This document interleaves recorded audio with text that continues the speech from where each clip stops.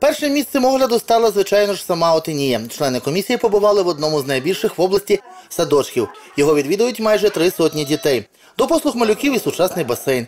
Отинійська школа вже багато років одна з найбільших в районі. Тут справно готуються до нового навчального року. А от у місцевому будинку культури ремонти йдуть повним ходом. Відновили фасад, встановили в коридорі та актовому залі панелі з вагонки. За день-два закінчать облаштовувати вбиральні та душеві. Щодо туалетів, то цього року 10 шкіл їх отримали за програмою Теплий туалет. Два з них ми побачили в Торговиці та Грабичі. Слід зазначити, що обидва навчальні заклади практично вже сьогодні можуть приймати учнів на навчання. Клубні установи, фельдшерсько-акушерські пункти та дитячі садки працюють у селах у звичному режимі. Цікавою є будівля школа у Грабичі. Вона одна з найновіших будов освіти.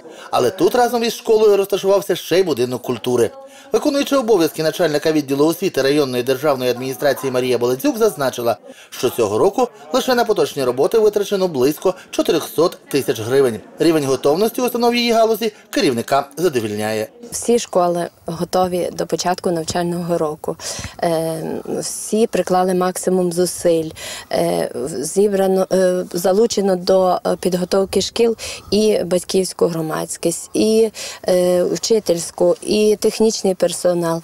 І велику допомогу у підготовці шкіл дала нам державна районна державна адміністрація. Сам Михайло Михайлович бере участь у об'їзді. Він приїжджає до шкіл, е, зустрічається з учителями. Е, І е, в загальному враження від об'їзду приємні, і школи всі готові до початку навчального року. Для повного завершення об'їзду членам комісії знадобиться ще 3-4 дні. Тоді відбудеться підсумок заходу. Наразі великих претензій до установ не виявлено. Богдан Малецький, Сергій Грицак, з Отинійщини, програма «Події НТК».